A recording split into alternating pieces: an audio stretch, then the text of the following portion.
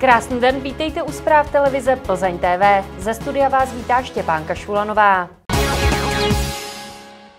Areál za plzeňskou plazou se ve středu změnil ve velké sportoviště. V Depu 2015 se sešli milovníci sladkých jídel. V Litohlavech je čím dál více populární národní házená.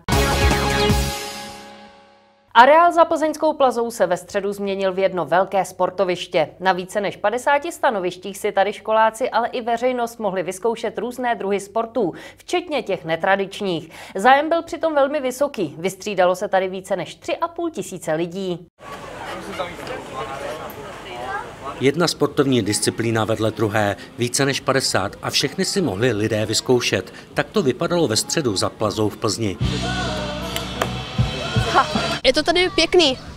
Jsem tady teprve chvíli, ale užívám si to. Jsem tu s kamarádem. Jezdím na koních a trochu gymnastiky. Tady to rugby, to je bylo hodně dobrý.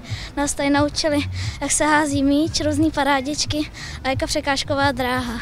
Bavil mě celkem basketbal a pozemák taky. Líbilo se mi to spoustu stanku, třeba koloběžky. No je to tady dobrý, vyzkoušel jsem si skoro všecko a je to tady prostě hezký. Mně se líbí asi tady nejvíc trampolínky, jak se na nich skáče a jinak všechno tady je hezký. Festival sportu je projekt nadace sportující mládeže a pohybu a zdraví. Vzniknul z důvodu, že chceme rozpohybovat děti a mládež, proto je to takto před prázdninami, aby ty děti tady vyzkoušely přes 50 sportovních aktivit a potom vlastně o prázdninách je začali provozovat a ideálně v září si udělali nábor ty kluby a začali pravidelnou aktivitu. No. Letošní ročník sportovního festivalu navštívilo více než 3,5 tisíce lidí. Zájem byl tedy veliký. Akce se navíc konala za podpory Plzeňského kraje. Festival sportu už je čtvrtým rokem tady z areálu OC Plzeň Plaza v přilehlém parku, takže je to tradiční akce vždycky na konci červnu, když jsou uzavřené školní známky, tak aby jsme sem dostali školní celky, protože gro akce je vlastně dopoledne, aby tady byly školy. Letos přišlo přes 3600 dětí, takže velmi nadšení. Já jsem moc rád, že Plzeňský kraj podpořil tento festival ze svého dotačního programu, i protože je vlastně určený pro všechny generace. Pro malé děti, pro eh, teenagery, tak aby všichni se pohybovali, ale potom i samozřejmě pro dospělé. Je to prostě festival průřezově pro všechny a takové akce si určitě podporu zaslouží. Z Plzně Miroslav Sedláček a Natálie Řezničková, Plzeň TV. Cesta spolupráce je nejvýhodnější. I tak je možné charakterizovat rozhodnutí plzeňských zastupitelů, kteří ve čtvrtek rozhodli o budoucnosti městské společnosti Plzeňská teplárenská. Ta by měla v následujících letech spolupracovat s plzeňskou energetikou. Zastupitelé měli na stole dvě varianty, a to teplárenská zůstane samostatná a bude investovat do oprav, aby splnila přísné normy Evropské unie, nebo bude spolupracovat s plzeňskou energetikou Daniela Křetínského. Nakonec se rozhodli pro spolupráci obou firm. Jestli se bude jednat o fúzi nebo jiný druh spolupráce, zatím nebylo rozhodnuto. Na toto téma pro vás chystáme reportáž. Chceme spolupracovat, jakože si myslím, že bychom měli propojovat tyto dva zdroje, tedy zdroje tepla a výroby elektrické energie, tak by mělo dojít ke zpracování detailních dokumentů, a to v průběhu léta a podzimu, a zastupitelé by o finální podobě, jaká ta spolupráce bude, či nikoliv, tedy nebude žádná, měli rozhodovat na prosincovém zasedání zastupitelstva. Český hydrometeorologický ústav vydal ve čtvrtek výstrahu nebezpečí požárů.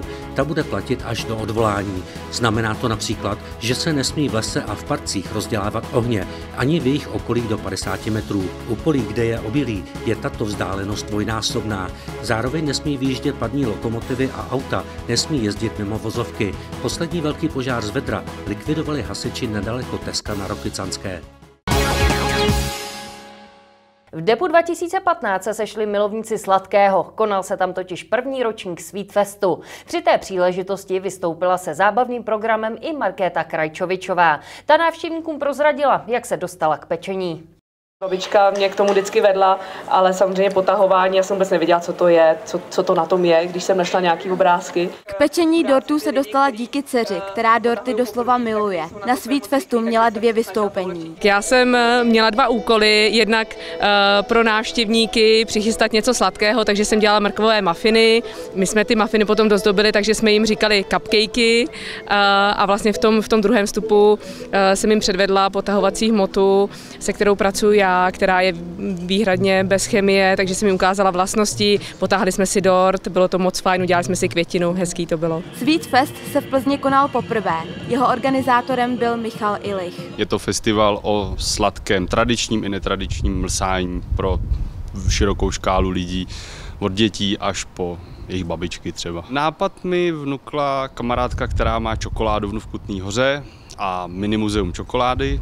A jednou jsme se bavili a říkala, že by to bylo fajn udělat takovouhle akci. Lidé tu ochutnali různé druhy čokolády, donuty nebo čokoládové pivo a mohli si vyrobit i vlastní čokoládu. Každý si zkrátka přišel na své. Včera jsem měla teda narozeniny a uh, nakupovali jsme různé sladkosti a teďka tady děláme čokoládu.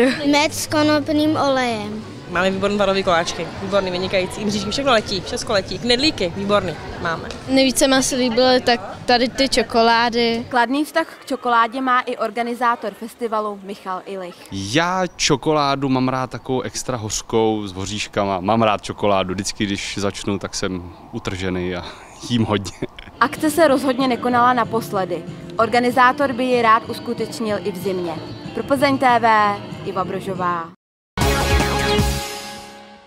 Mohlo by se zdát, že v tomto počasí jsou zvířata schovaná před sluníčkem, ale ne u všech to platí. Naopak takové želvy se rády sluní. Můžete je vidět v zoologické zahradě v Plzni. Ta na sobotu připravila speciální akci na vstupné. S vysloužilci do zoo, tak zní název akce Plzeňské zoo. Návštěvníci mohou získat pro své ratolesti vstup zcela zdarma.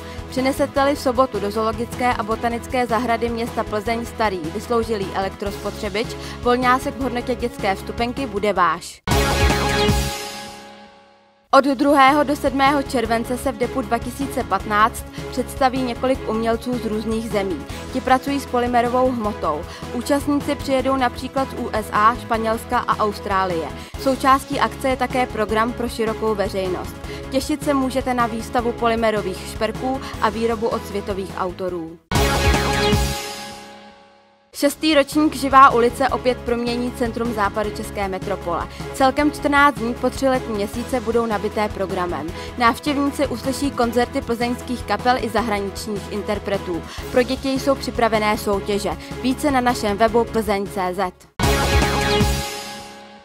Jak už jsme vám říkali, ve středu se u Plazy v Plzni uskutečnil festival sportu. Zájem vyzkoušet si i netradiční disciplíny projevilo více než 3,5 tisíce lidí. Především děti. Kolegyně Jana Flachsová se proto v ulicích města lidí ptala, jak jsou na tom se sportováním. Tak dvakrát týdně, no. Běhání, občas takový rekreační spíš, no, fotbal, s klukama nohejbal, občas tenis. Jenom pasivně v televize. Když je biatlon, tak pořád. no, já jezdím na motorce. Sportem dobrý, no. Posiluju. Nedělám sport, nebaví mě to. Fotbal. Trénuju děti třikrát týdně a hraju sám. Já? No, jo, jako, no trošku jo, já chodím, ale tak jo, jenom takový lehce, no. Nesportuju. Linej. Trénuju děti ve fotbale. Malinký. Tomu se hodně věnuju. Dřív jsem sportoval 20 let, ale teď už to moc nevypadá. Hrajem tenis. Já jsem hodně sportoval dřív a teďka to vlastně kvůli práci jsem to musel ne odložit, ale dal šlo to stranou, ale i kvůli vlastně osobní věci. Takže tak asi. Já nějak moc nesportuju, akorát dělám workout. Občas výštím na koloběžce, no. Pochoduju. No tak dvakrát v týdnu i třikrát. Já ho nesleduju, sorry. V Litohlavech je čím dál více populární národní házená. Mají tam tým mužů a pět mládežnických týmů. I přesto, že jsou nyní sportovní prázdniny, tak se hráči scházejí na hřišti a trénují kondici. Náš tým se vyrazil za nimi podívat.